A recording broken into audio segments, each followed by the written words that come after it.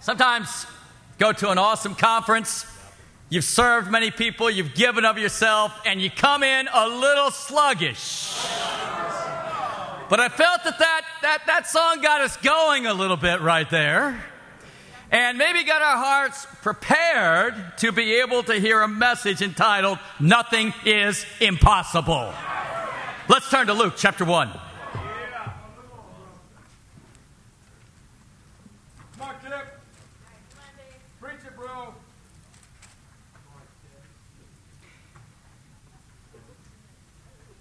Here we find the account of the angel coming to Mary. Verse 26. In the sixth month, God sent the angel Gabriel to Nazareth, a town in Galilee, to a virgin pledged to be married to a man named Joseph, a descendant of David. The virgin's name was Mary. The angel went to her and said, Greetings, you who are highly favored, the Lord is with you. Mary was greatly troubled at his words and wondered what kind of greeting this might be. But the angel said to her, Do not be afraid, Mary. You have found favor with God. You'll be with child and give birth to a son, and you are to give him the name Jesus. He will be great and will be called the Son of the Most High. The Lord God will give him the throne of his father David, and he will reign over the house of Jacob forever. His kingdom will never end. How will this be, Mary asked the angel, since I'm a virgin? The angel answered, The Holy Spirit will come upon you, and the power of the Most High will overshadow you. So the Holy One to be born will be called the Son of God. Even Elizabeth, your relative, is going to have a child in her old age. And she who is said to be barren is in her sixth month, for nothing is impossible with God. I am the Lord's servant, Mary answered. May it be to me as you have said. Then the angel left her. You know, right here we find a very powerful account of Gabriel's coming to Mary and sharing with her God's plan and purposes, not just for her life, but for the entire world, for all generations. It's interesting to note that earlier in chapter 1, Luke builds his gospel, we understand through the Holy Spirit, but through eyewitness accounts. And so, why does Luke have such detail here between Mary and the angel? Because Mary shared this account with him. Secondly, we need to understand that Mary, most likely at this time, was probably 14 or 15, at the most, probably 16 years old. Tradition holds it that, that she was an orphan. And very interesting, we find that the angel comes to her, and the angel just simply says, Greetings, you who are highly favored, the Lord is with you. Now, you get that kind of a compliment from an angel, you know something's going to be asked of you real soon. And isn't he surprised? Then in verse 29 says, And Mary was greatly troubled and wondered what kind of greeting was be. And then he shares the plan of salvation for all generations. That Mary would be overshadowed by God through his Holy Spirit. She'd be impregnated and would give birth to a son, and his name would be called Jesus. As a testimony that God could do the impossible. He says, even Elizabeth, in her old age, is going to have a child, and she was said to be barren, is in her sixth month, and other says, nothing is impossible with God. Once the angel shares that account, once the angel states the fact that nothing's impossible with God, then we see the heart of Mary. I am the Lord's servant. May it be to me as you have said. If there's one word that sums up this woman's heart, it's surrender. She is totally trusting, but totally surrendered to the will of God. You know, that's the challenge we have. If we're really going to believe, nothing is impossible. Our first point is this surrender to God's purposes and timing. Turn to Ephesians chapter 1.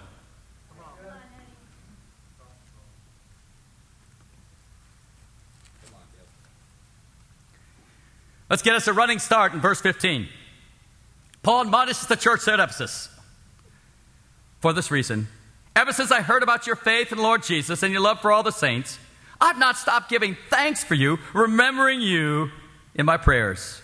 I keep asking that the God of our Lord Jesus Christ, the glorious Father, may give you the spirit of wisdom and revelation, so that you may know him better.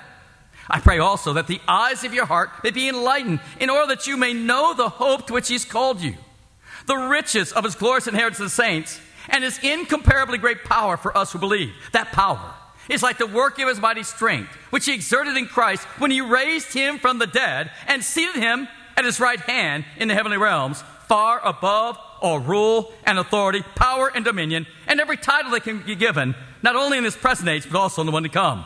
And God placed all things under his feet and appointed him to be head over everything for the church, which is his body, the fullness of him who fills everything in every way. And the church said, Right here, Paul says, I'm praying for you, church at Ephesus, all the time. He says, My prayer is simple. He says, I pray that the eyes of your heart will be enlightened, that you'll be able to see. What's he asked to see? That God has this incomparably great power at work in our lives. You know, when you become a disciple, when you become a Christian, after you come up from the waters of baptism, you receive not only the forgiveness of sins, which gives you a relationship with God, but you receive His Holy Spirit, which gives you the power to live the Christian life. Now, the word power in the Greek is dynamis, it's where we get the English word dynamite. And you talk about the power of God, the dynamite of God, that's the Holy Spirit. And He can blow any sin out of your life. Amen, church? But here's the power, and I, I, think for a lot of Christians, they get to the point, like, I don't know if I can change this. I don't know if I can overcome this. He says, listen, the power you have in Christ through the Holy Spirit is the same power, the same dynamite that raised Jesus from the dead. Now, that's a lot of power. You with me right here? And last time we checked the medical books, raising someone from the dead was impossible. You can change anything in your life because nothing is impossible with God. Now, that being said, Paul goes on in verse 22 and he says, And God placed all things under his feet and appointed him to be head over everything for the church. Now, a quick perusal of this scripture might lead you to go astray a bit. A lot of people, when they first read this scripture, say, oh, that's exactly what Paul taught in Colossians 1.18, that Christ is the head of the church, his body. Well, that's a true statement, amen. But that's not what this scripture is teaching. This scripture says God's placed everything under his feet. Now, Paul's making a strong point right here. Everything in the world is under the authority of Jesus Christ. How much under the authority of Jesus Christ is it? It's even under his feet. And it says, why? So he can be head over everything for the church. Jesus' power, his authority, is to benefit the church. In the first century, Paul says in Colossians 1:23 that every creature under heaven had heard proclaimed to them the gospel of Jesus Christ. And from that, we get that the world was evangelized in that generation. Now, it was really, though, a very important part of that was the timing of God. When Mary was alive was during what was called a period of history called the Pax Romana, which means the Roman peace. It was a time when Rome controlled so much of the world that it was very easy to go from one country to another country to another country. Why? Because Rome was the one empire. And so the Christians could easily go into all the world preaching the gospel. That was the timing of God. Are you with me right here? You know, back in 1979, when our former movement began, was during the Pax Americana, the American peace, where having an American passport allowed you to get into almost every country of the world. It was incredible. But not only was God working in that way, but He was working with whole countries to prepare their hearts for the gospel. I remember in 1986, we were getting the team ready to go to Johannesburg, South Africa. And advice came oh, you need to send two churches there one a black church and one a white church because apartheid is the law of the land. And they said, well, you got to obey the laws of land. I said, no, you don't. Says, you got to obey God rather than men. And so we sent one team, half white, half black. Just a few months after that, apartheid was struck down as a law in Johannesburg, South Africa. See, God was moving. I mean, it's so awesome to have Sasha and Louisa right here in the front row. Elaine and I took a mission team to Moscow, Russia back in July of 1991. Sasha was the number three baptism, and his girlfriend at that time, Louisa, was the number four baptism. And just about a month after they were baptized, the coup came. Now you got to remember, when we went there, it was the Soviet Union. After the coup came, there was religious freedom, there was democracy to a degree, and the Soviet Union began to break up in other nations, and which allowed there to be such an openness of heart that the very first year we were there, 850 people were baptized in Moscow. Is that incredible? See, it was the timing and the purposes of God. Even going into China. Britain and China had had a war called the Opium War, and they made a treaty that came due in 1997, where Hong Kong would be ceded back from Great Britain to China.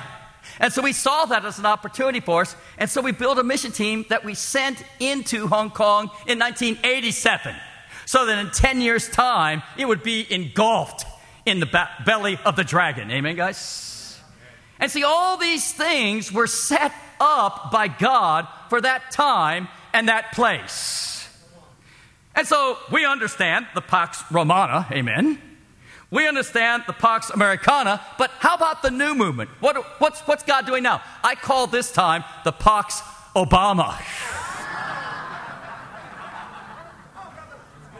I mean, it's, it's an incredible time. I mean, you look, in the olden days, we built mission teams. We had to send one to Italy because you, you couldn't be anything but Italian going there. We had to build a separate one to France. We had to build a separate one to um, places like Germany. Now, the EU has made it simple. You can be any member of the European Union nations, and you can go to any one of those nations with the gospel. We already have a remnant group there in London. I mean, it's incredible. We just take that remnant group and spread out throughout all those nations. I mean, that is how easy it is.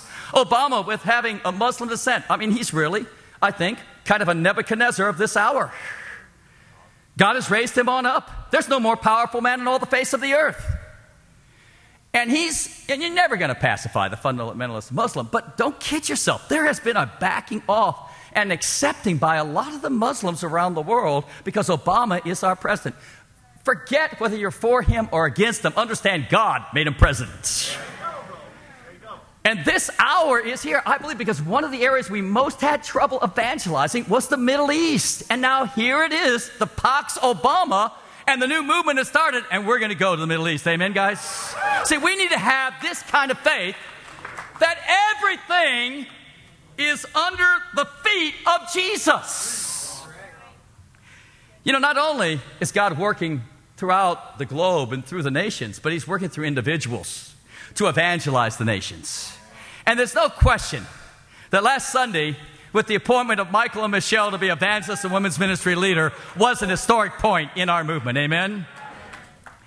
And I mean, when you, when you think about their lives, you say, wow, it is totally God. I mean, here it is. Michael was born in 1973. Born in the Portland, Oregon area. And yet he had a very tough time. After a few years, his mom went through a divorce, and they were left to grow up in a studio apartment his mother, him, and his three brothers. After a while, when he was in high school, his mom was arrested and put in prison for drugs.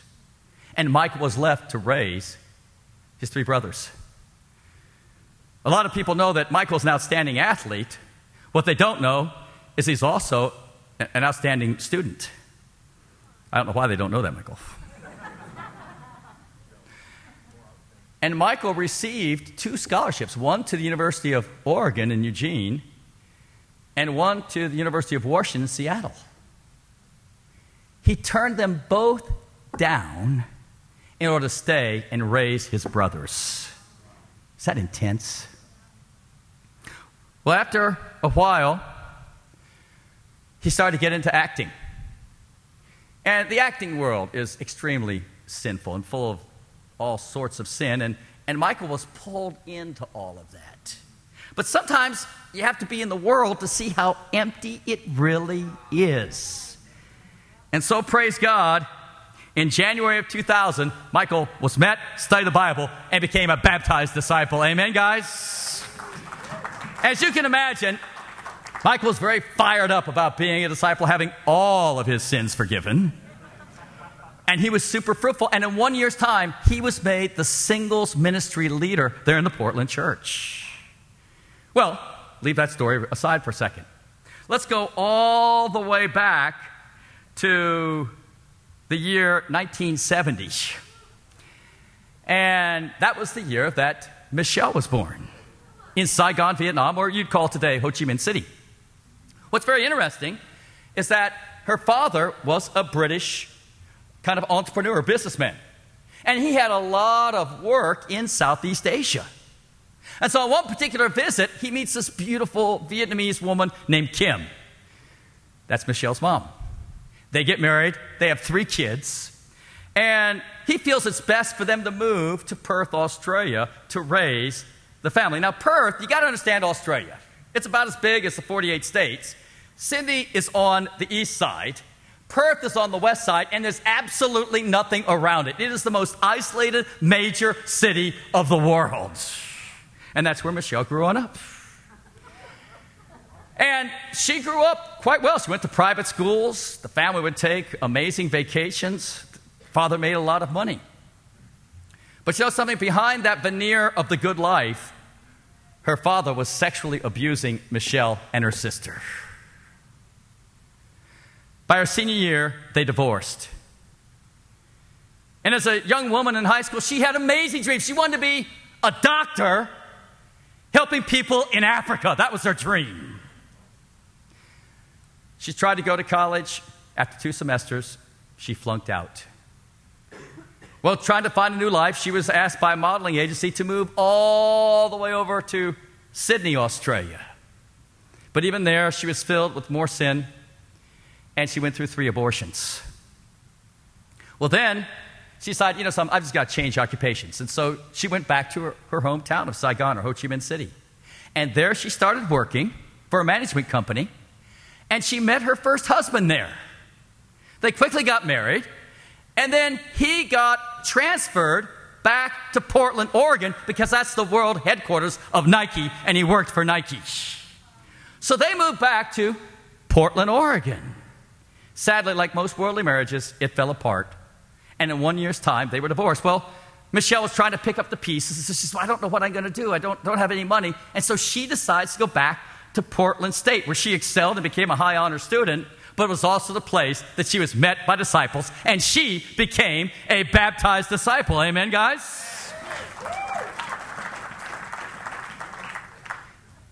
That was in 2001. Of course, a year later, she's asked to co lead the singles ministry. She meets that dashing young evangelist to be, Michael Williamson, and in 2003, they're married. Amen, guys? Now, here's the thing they went through a lot of things there in Portland, but they got to see the birth of the new movement. In some ways, very dire circumstances brought them down to Los Angeles last year. But you know, because of their growth in the Lord and because of their faith, and because Michelle's father is a British citizen, Michelle carries a British passport. For Americans, it's hard to work over there in England. You, you either have to get hired by an American company over there, or you, you have the money that you can uh, pay a university to be a student on over there. But Michelle, she could just walk right into London and, of course, be employed, in our case, by the church, amen. And her husband can just kind of ride along on her coattails right there, amen. But all of this is planned by God. And so that's why the Holy Spirit has targeted them to take out the London mission team next summer. Let me tell you something God is sovereign over the nations, but God is also sovereign in your life, and He has a plan for your life. But you have to be surrendered to God's purposes and timing. Amen? Point two surrender to God's blessings of righteousness. Turn to Psalm 18. Psalm 18 is, uh, I think it's Matt Sullivan's favorite scripture. And in verse 20, we read a very challenging concept that David shares about. He says, The Lord has dealt with me according to my righteousness. According to the cleanliness of my hands, he has rewarded me. Verse 24. The Lord has rewarded me according to my righteousness according to the cleanness of my hands in his sight. Wow. Right here, two different times, David says, God has dealt with me according to my righteousness. That is a principle of God. And sometimes as Christians, we just don't get it. Why isn't God blessing us? Well, a lot of time, it's because we've not been the righteous vessels that God can use. And David even prays, God bless me according to my righteousness. You know, at the conference, we talked about the fact that the preacher and his preaching is the spiritual ceiling for a congregation. But applying it in a congregational level, we need to understand that a Bible talk leader, his life and his teaching is the spiritual ceiling for a Bible talk. Or the same holds true for a regional leader. That his life and his preaching is the spiritual ceiling for the region. You know, I, I, don't know about you, but I was so encouraged by all the disciples that came to visit. But perhaps as encouraging as, as any disciples were Chris and Carrie Sue Adams from Syracuse, New York. It was very encouraging because I'd just been out there earlier in July because they'd gone through a real tough time. Now, the church in Syracuse is not a real big church, it's about 60 disciples. But they'd sent out from that church in the last two years two significant mission teams Chicago and DC. That's pretty awesome, guys. Amen? And when you send out mission teams, it hits you. It tears up a lot of relationships. It, it, it's really tough on, the, on, on all the brothers and sisters that have to stay here, so to speak. And so from January to July, they'd only had one baptism and they were hurting.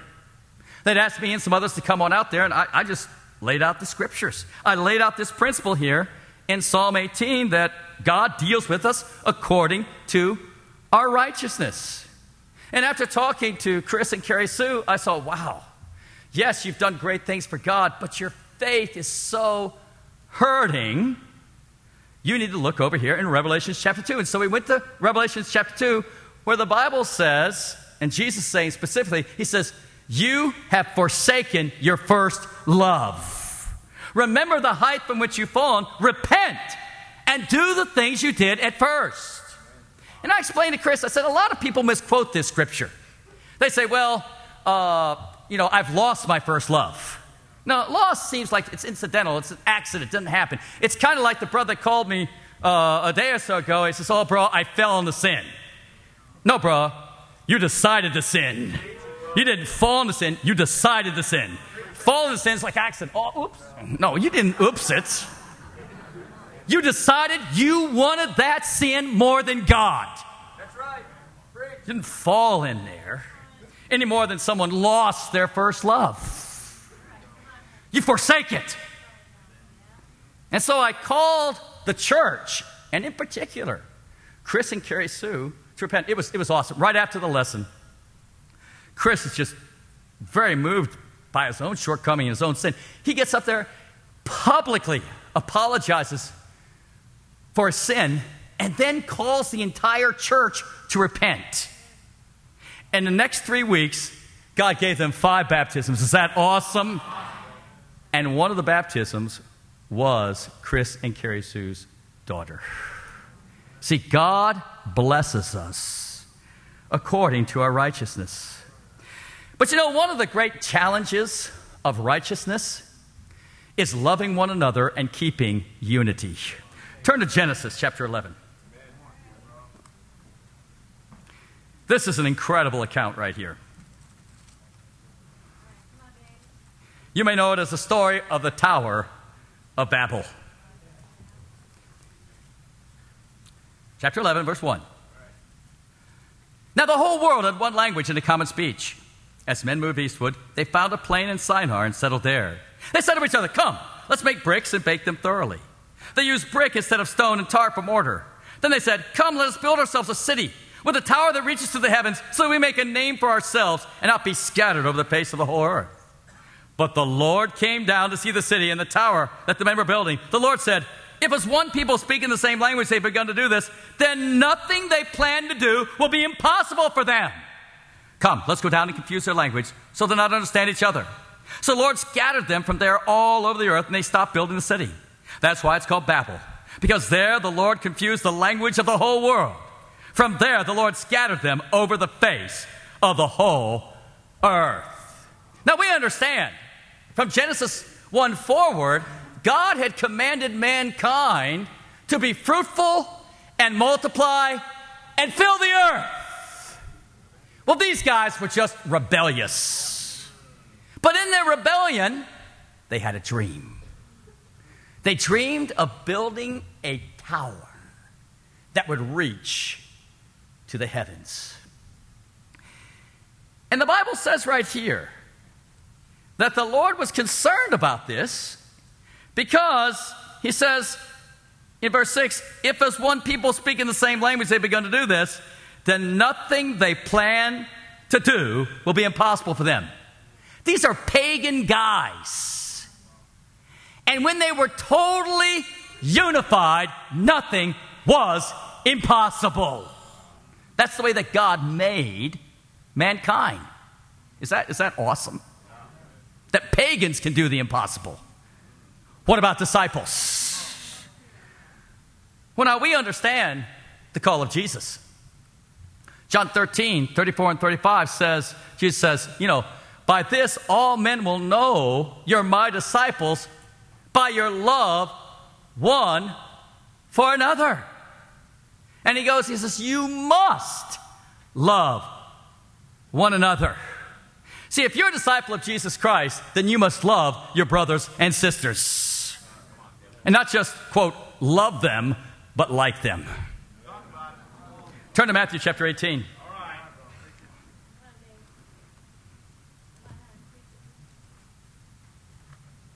As we go through this, I just want to ask you a question Is there a disciple you just don't like? Is there a disciple that grates you? I mean, you, you talk about the kind of grating. You know how someone takes their fingernails and goes on a chalkboard? And the moment you see this person, the moment they speak to you, it's like, it just hardens your heart.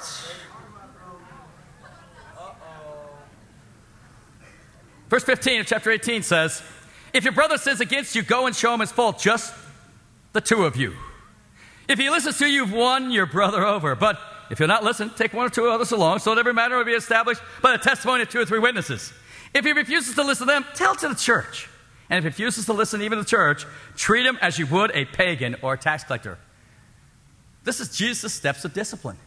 He says, Man, if someone has sinned against you, you go to them. See, a lot of times when people sin against us, we feel like, I'm just waiting for them to come to me. They're such wicked sinners, they should know that. You know, a lot of times people are deceived by their sin. And so the Lord has a way to fix it up. Anybody that's been sinned against, you know you've been sinned against. Why? Because you're hurt and you're getting bitter. And he says, okay, if you're hurt and you're getting bitter, you need to go to that person, just you and that person, because if you can talk to them and let them know, and then they can apologize, well, then you've won your brother over. Isn't any surprise then? Just a couple verses later, verse 21 says, Then Peter came to Jesus and asked, Lord, how many times shall I forgive my brother when he sins against me? Up to seven times? Jesus answered, I tell you, not seven times, but 77 times. See, reconciliation, yes, has to have initiation, but there's got to have to be forgiveness. There's going to have to be forgiveness. And of course, the whole next account is the story of the unmerciful servant who was forgiven of a huge debt, but refused to forgive a minor debt by another servant. And of course, the parallel is we've been given forgiven huge debt of all the sins in our life. We need to forgive one another of the sins that we have committed. Are you with me right here, guys? You know, it occurs to me that sometimes we just write off, ah, oh, we just have a personality conflict. Nah, I just don't like his leadership style. Sounds like you got some strong feelings, bro. Sis, that's some wickedness in your heart. Now, no one's, no one's saying that leadership is perfect. Let you in on, on a secret. All leaders are sinners. And you know what sinners do best? That's exactly right. You got it. If you're expecting your Bible talk leader to be perfect, man, you're in the wrong church.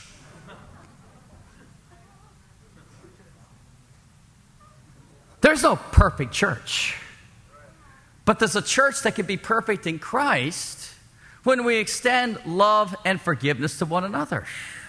That's not to whitewash sin. Sin must be apologized and confessed, whether it be by the youngest Christian or by the strongest leader.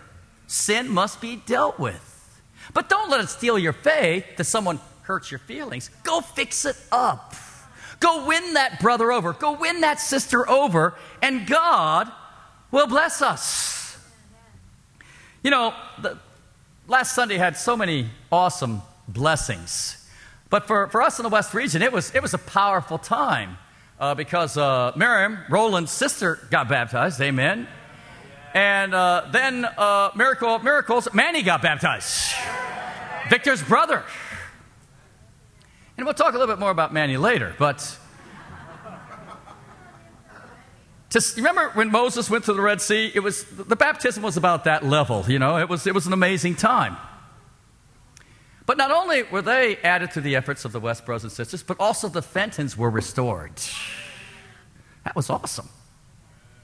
And so the, the Lord blessed us with an increase of four. And the Bible says, remember this in Acts chapter 2, and the Lord added to their number.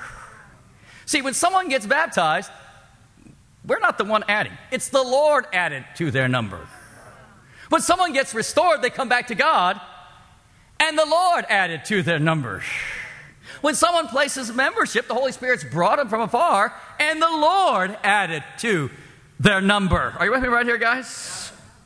And so I was just kind of wondering what, you know, that, that, was, that was a great victory. So I went back and looked at the statistics, and we understand statistics don't tell the whole story, but you can't blow them off either. They say something. And so I looked at the West region as of January 1 this year, and we had 22 disciples. And I said, well, okay, what happened? Because I know we had a lot of turmoil, a lot of disunity in February. And so February 1st, we were at 21. Wow. Lord, bless us according to our righteousness.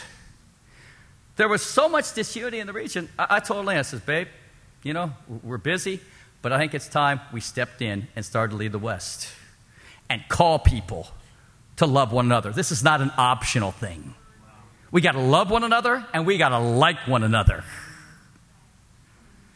And you know, in the past six months, and it's totally the Lord, we've gone from 21 as of February 1st to 42 disciples now in the West, just six months later.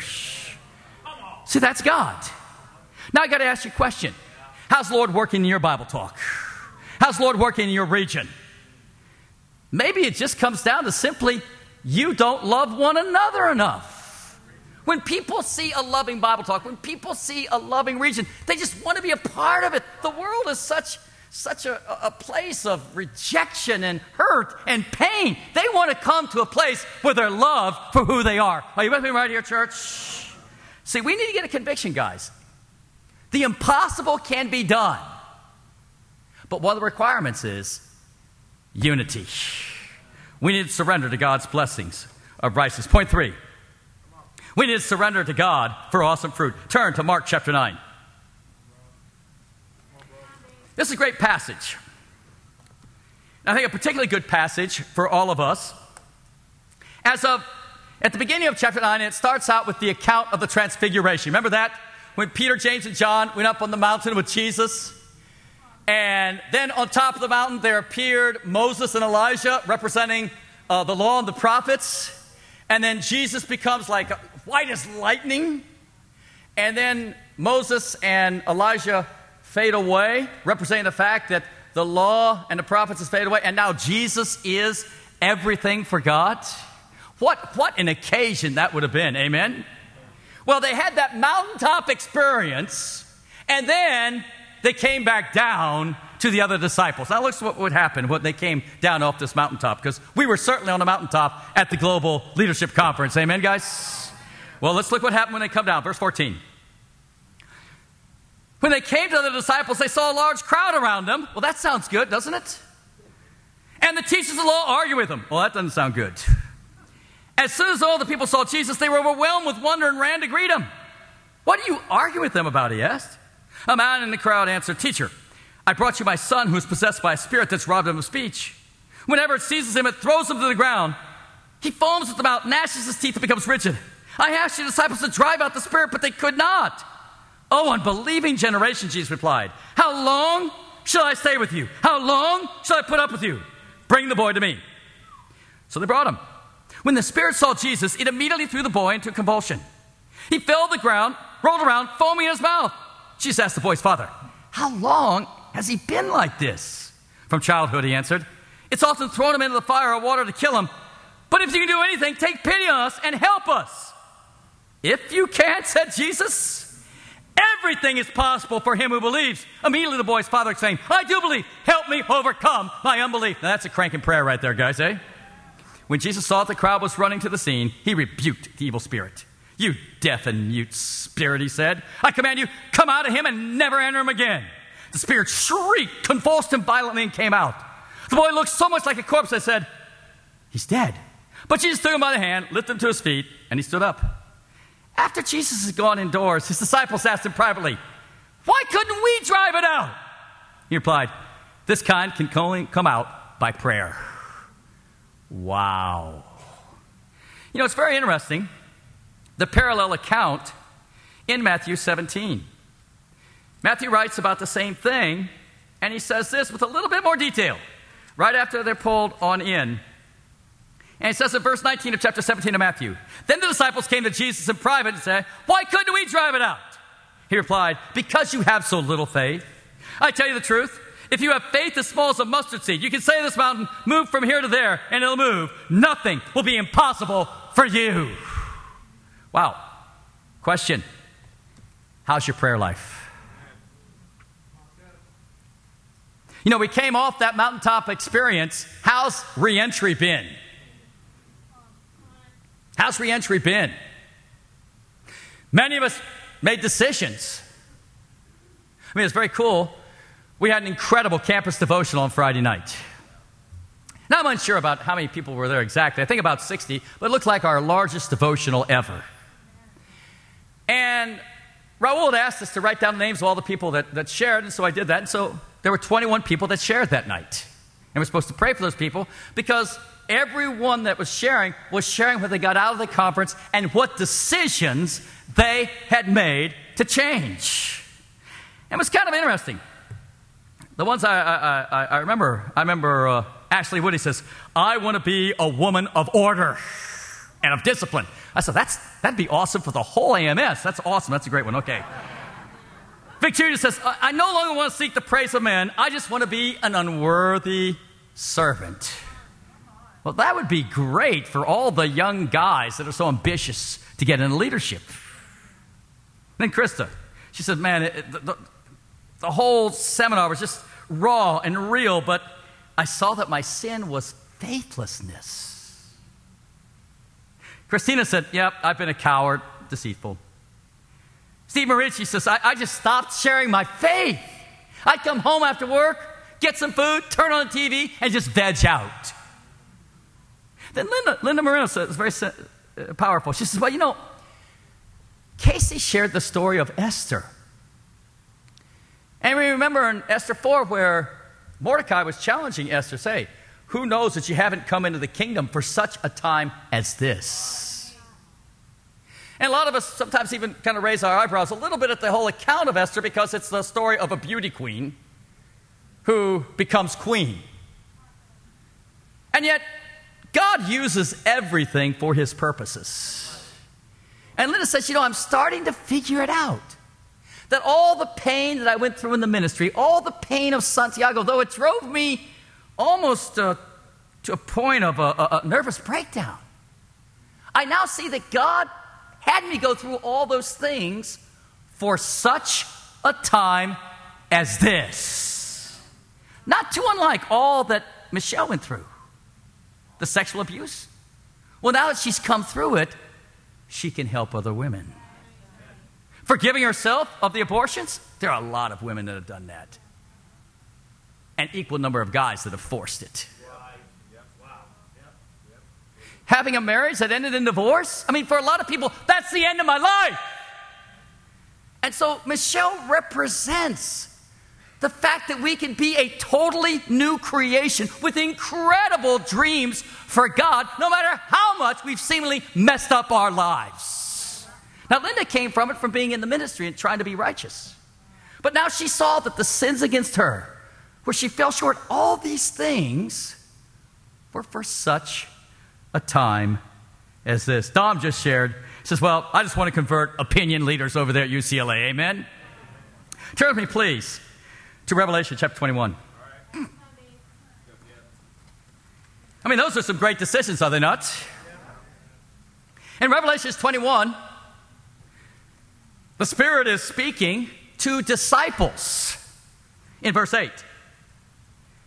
But the cowardly, the unbelieving, the vile, the murderers, the sexually immoral, those who practice magic arts, the idolatrous, and all liars, their place will be in the fiery lake of burning sulfur. This is the second death. Now that's a hardline teaching. Amen? You know, a lot of times we, we kind of order sins and say, oh, this is a real bad sin. This is a medium bad sin. This one's, well, it's, it's not, it's not it's, no sin is good, but that's not real bad. It's kind of interesting. You know, if you had a brother in your Bible talk that had a problem with murdering people, you'd be concerned about where he was at spiritually, would you not? This brother is struggling right here. You wouldn't just sit back and go, oh, well, I'm sure it'll work itself out. Well, murder's on this list. If a, you had a sister that was sexually immoral in your Bible talk, we just let her go on her way? You say, well, well, I'm sure it'll just work itself out. Someone was practicing magic arts going to, to tarot card places, getting the Ouija board out, reading the horoscope every day. You wouldn't, you wouldn't just let that slide. Or the idolatrous, or someone was lying all the time. See, we have, we, we have deep convictions. Someone in our Bible talk is a murderer, sexually immoral, practicing magic arts, an idolater, or liar. They need to be dealt with. And then the vile. That just sounds bad. Have you have you committed vileness lately? You know, someone's vile. You got to deal with vileness. But notice what the first two sins are that'll send a disciple to hell the cowardly and the unbelieving. But a lot of times, we let brothers and sisters be cowardly. We say nothing. They may be unbelieving, as many of these brothers and sisters stepped up and apologized for, and I praise God for that. But we don't deal with it. A lot of times we have disciples haven't brought a visitor for weeks, months, and we say nothing to them. That's not love, that's a lack of love. Something's wrong on the inside. Now, if someone isn't effective, we need to go and help them. We need to walk with them and overcome their timidity. It's not a time for rebuke, it's a time to encourage them to be what they need to be, but we've got to deal with it. I really want to talk to church right here. Where are you at in the areas of cowardliness and unbelief? Because in many of our Bible talks, we've not had a lot of baptisms. And it's a pro- choose what it is. Is it, is it cowardliness? Is it unbelief? Laziness, pick your sin. But it's time to confess it. And we need to get a conviction as leaders that we've got to certainly set the pace here, but we've got to challenge people. Yes, when they're murdering people. Yes, when they're immoral. But if they're cowardly or unbelieving, this has got to be dealt with. Are you with me right here? See, fundamentally, we've got to believe that anyone can change. See, that's, that's, what, that's the only way to have awesome fruit It's for someone to believe that someone can change. I mean, at the devotional, Joey brought up the uh, passage of uh, Acts 2 17. Talks about your young men will see visions and your old men will dream dreams. Some people say, well, can you teach an old dog new tricks? Well, I don't know about dogs because people aren't dogs. Amen, guys? But let me tell you something old guys can change. That's the kingdom. Old guys can dream dreams. I mean, it's pretty amazing uh, Ken had asked me for a, a follow up contact that I'd gotten off Facebook. And then uh, I, I, gave it to him. I said, I don't have the number. You'd have to get on Facebook. He says, Well, I'm not on Facebook. A miracle happened this morning. Ken got on Facebook. See, an old dog can learn new tricks. People can change. And you get to the point where you don't think people can change, you're going to become a very cynical and critical person. And you are not going to be proactive as a disciple of Jesus Christ, helping to disciple people in love. Because sometimes people have lost their faith and they don't think they can change. That's when you need to come in with the Word of God. That's when you need to come in with your faith and share your faith so they too can believe that they can change. Are you with me here? Last point surrender to God for your future. John chapter 3.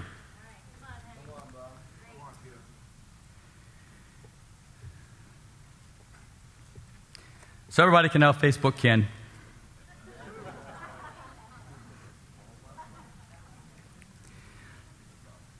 In John 3, verse 1,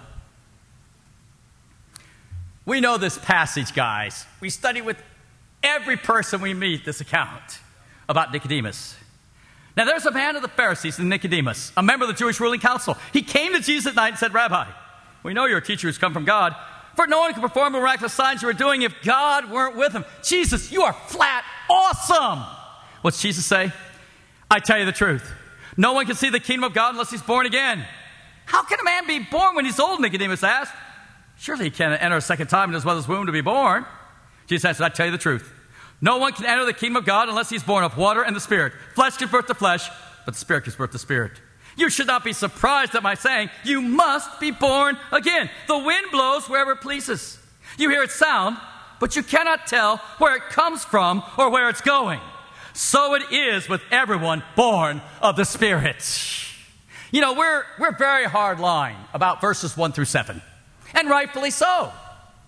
It's absolutely essential that we believe that you got to be born again, born of the water and the Spirit to enter the kingdom of God. See, God's Spirit can change anyone. And His Spirit works through the Word of God to affect non Christians. You know, I was kidding a little bit earlier about Manny, but he, he was a tremendous hope for, for many of us that, that have children that are not faithful to God. Because Manny really got out there. I remember him coming to Portland just announcing, I don't want to be a Christian anymore. I don't want to be a follower anymore. He not just left God and got into all sorts of wickedness. His faith came to the point that he no longer believed in the Bible, no longer believed in Jesus, no longer believed in God Himself. That's pretty far out there, I think. But through the persistence, particularly of Vic Jr. and a lot of other people, their example, slowly the Word of God and the Spirit started reeling them on in. And so last Sunday, you saw a miracle. Manny Gonzalez was baptized into Christ. Amen? That's a powerful, powerful testimony. Amen. He was truly born again. But you know, in the midst of being hard line about being born again, sometimes we kind of Skim through verse 8. The wind blows wherever it pleases. You hear its sound, but you can't tell where it comes from, where it's going. So it is with everyone born of the Spirit. The wind and the spirit in Greek are the same word, and so there's a little bit of a play on words right here. But the teaching is clear. You know, the wind, you don't know where it came from or where it's going. So it is with everyone born of the Spirit. Everybody that's a baptized disciple, you don't know where you're going because God is going to send you someplace. You know, I was so excited about the reception that uh, I felt with everybody about the Crown of Thorns project. I mean, we, we laid out, for those that weren't there on Sunday night, we laid out a more specific plan as far as evangelizing the world. And we call it the Crown of Thorns Project because you kind of picture the globe and then a crown of thorns around it representing salvation. But the whole idea is that we're going to get to cities, all the key cities around the globe. And starting in the United States, I mean, if you pick out four cities that you want to have cranking churches in to evangelize the United States, you would say New York, LA, Chicago, and DC. You know something? We're there with cranking discipling churches. That doesn't count the other awesome churches in places like Syracuse and Portland and Phoenix and Hilo and Hawaii, Eugene. But we're saying these pillar churches, wow, that's, that's huge for not even being three years into the new movement. And then when you think about going around the world, I mean, it's amazing what's going on. I mean, good gravy. Michael and Michelle are going to be going to London in less than a year. Is that awesome? And there's already a remnant group of 30 waiting for him. Well, then the are going to come back here. They're going to be training for a year or two, and they will go to Paris. They're already fluent in French. And Johannesburg, the Smellies are coming here in January, and in a year and a half, they'll go to Johannesburg, South Africa. Of course, the Sullivan's are already in Santiago, and so that means Mexico City with the Gonzaleses and Sao Paulo with the Marinos, maybe with the stop in Miami, I don't know. That's going to be easy, amen, guys? Then in Sydney, the Willises have decided to move here and sell their house so they can pay a year's worth of salary so they can train here. Is that awesome? Now that's someone that believes. They're moving their two twin kids, 12 years old, here because they know that it's all about the kingdom.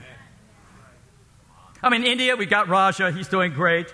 Manila, the Bartholomew's will be awesome. I mean, after all, Jonah's Filipina. Amen, guys? And then, of course, you know, we're, we're, we're kind of thinking that maybe Cairo would be a great place to put Mike Patterson. and then it's kind of a no brainer. We think Sasha and Louisa back to Moscow, Russia. Amen, guys?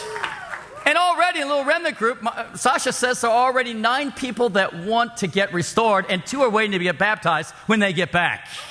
And they leave this Thursday, and Lord willing, going to be back September 1st to be with us for two years. Amen. And then China could be evangelized from Hong Kong. We think DJ and Casey would be awesome to be able to go there. Because we feel like if we get to these key cities, they unlock all the other nations around them. But you know, people like the Commonwealth, I mean, they love New York City. But when the challenge came, hey, are you willing to go? Amen. Amen. It's kind of funny because uh, Chris Broom had just gotten into a conversation with DJ and Casey. And he said, Now, what would be the place you would least like to go? She said, I don't want to go anywhere in Asia. So a couple days later, I'm sitting down at the conference. You know where I think would be really awesome for you guys? Hong Kong. Whenever you say you don't want to go someplace, just mark it up. That's probably where you're going to be going. Now, of course, what's really awesome is that our brother Jake Ramzier is heading off to Honolulu. And uh, there are tougher places to go. but you know, I appreciate this young man's heart. He'd gone through the conference. Vic Jr. sat down with him Wednesday night. Said, Bro, Kyle's hurting. As Mike Underhill went to be with DJ to give him a friend, we need you to be with Kyle so he can have a friend to be strong. That very night, he goes, I'm there. How about it? If you're asked to go someplace, are you there? Well, maybe if it's Honolulu, how about Cairo? You know, it's been an interesting weekend. Yesterday, Saturday, August 8th, was Elena's 36th spiritual birthday. I got her some roses, a little card, you know, and tried to encourage her in the Lord and everything. And uh, then it was kind of interesting. Uh, I, I, was on, on, on, Facebook. Ken still wasn't there yet, but I was on Facebook. And this little thing popped up Jeremy Charamella's birthday. And I go, I didn't know about it. Nobody told me. So I called him on up in the afternoon. I said, Bro, is, is it your birthday today? Yeah, bro. I said, Well, what, what number is your birthday? Well, this birthday is my 36th birthday. I said, You're kidding. You were born on August 8th, 1973? He goes, Exactly. I said, That's the same day Elena was baptized.